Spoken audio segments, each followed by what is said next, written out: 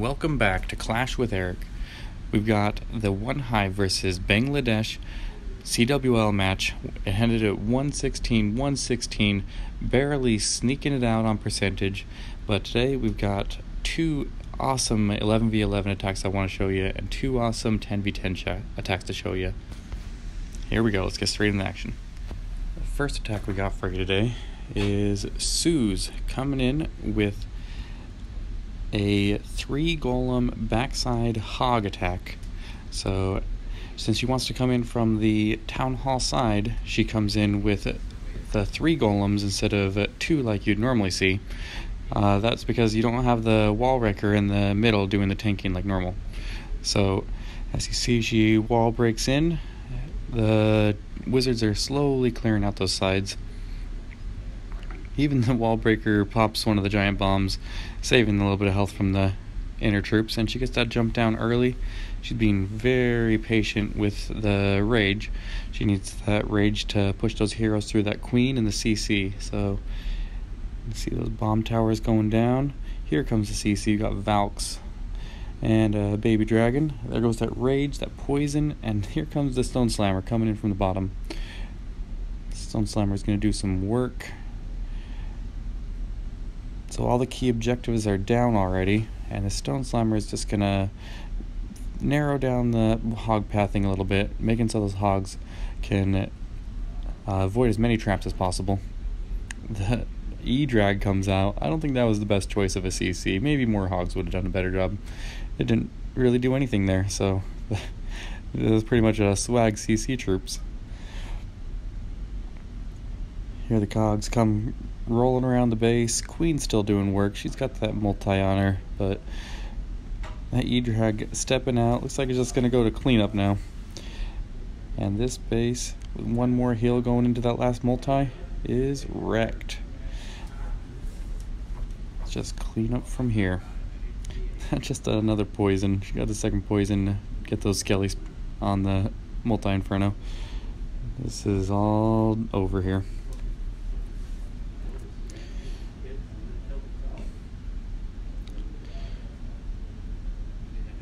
That. The archers setting off giant bombs that were missed because of the stone slammer destroying the buildings that would have caused the hogs to path over it.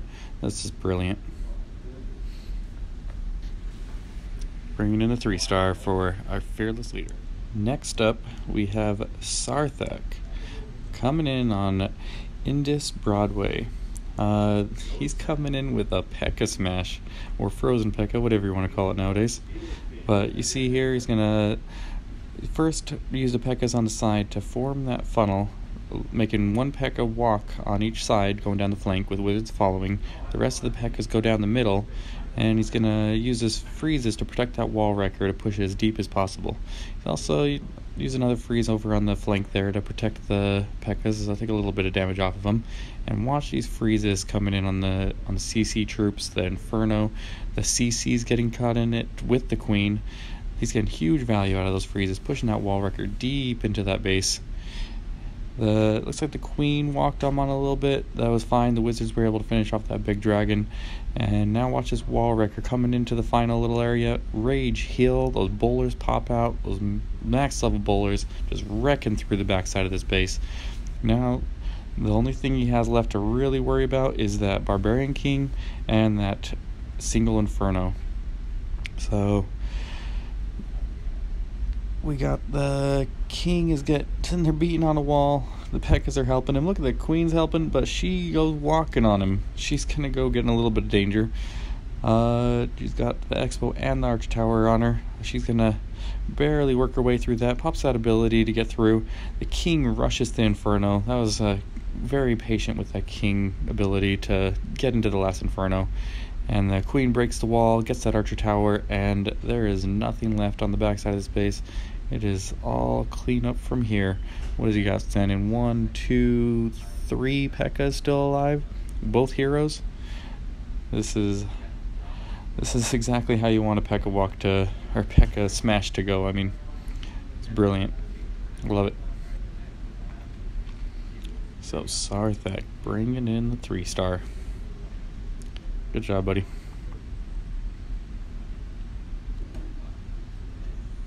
Next up, we have JC coming in with an 11v11. And he's coming in with what is that? Mass hogs on 11v11? I gotta see this. Alright, so he's starting off E drag in the 3 o'clock corner, clearing out that trash. It looks like he's gonna get that archer tower as well. Then he's got the queen with just a giant in there just to give her a little extra time to clear out those defenses. So with this attack, he's got to really narrow the base. So he needs to clear stuff on both sides of it. And if you notice, he's not going to bring the queen down. He's got a skelly spell for the queen, and uh, looks like a poison as well. So that E-Drag's pretty much done its job. It's going to go down now. He's just trimming out the other side now, just using the Barbarian King on this one. The Since the other enemy Barbarian King is exposed, he can he can just trade queen or trade barbarian kings with him. Now here comes that stone slammer. Just it's gonna come in, get in front of these hogs, and just tank everything. The hogs just coming in from every direction on the backside of this base. Here comes a two ice golems coming out of that CC. That can prove a little bit of trouble for the hogs, but as long as they don't freeze on top of it, the hogs are just gonna avoid them for the most part. He's got the double poison down on the, the ice golems. Look at that queen. She misses the skelly spell. You think it's over at this point. Hogs rushing the backside of that base. Got a big old pack of them over there on the left side. Queen just picking them off one at a time. She jumps the wall, goes back into the skelly spell, and look at that. She's down. That was you can't get more lucky than that. That was that was amazing. sometimes it just goes your way, you know? Here the Hogs go, coming into that final hill, taking out the last two defenses. Gets caught in the tornado trap. They're just going to sit there for a little bit. There's so many of them. They've got a swag heal. They've got swag wizards on the cleanup. The skelly spells are clearing out the core. Oh, oh, he shouldn't have done that.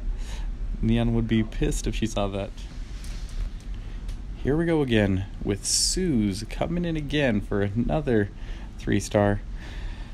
Bringing in the back end Stone Slammer from the top side up by the Town Hall. So just going to sail it right over the top of it, dropping a one clone electron into that Queen. Here comes the balloons that rage. Clone. Here comes the CC. This is a tough CC for an electron. That doesn't bother her. She gets the Queen. She gets the CC. And I mean, that's about that's about it. There's a couple skellies still standing. That Electro Dragon's gonna go down pretty quick, but just got just with enough what she needed. A Baby Dragon's gonna start funneling the heroes. Here comes in the king, the queen. The Baby Dragon's gonna force the heroes down towards three o'clock, towards those air defenses. The king out in front, just taking out everything to make that queen go right into those air defenses.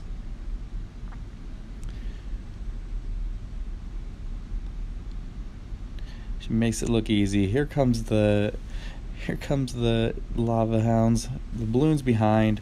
He's got a couple uh, haste, looks like five of them, and that heal for that backside inferno. Here they come rushing in right away, using three of those haste right off the bat. There's another one to get through that sweeper. Here comes the Warden ability to initially uh, get him through that multi Inferno.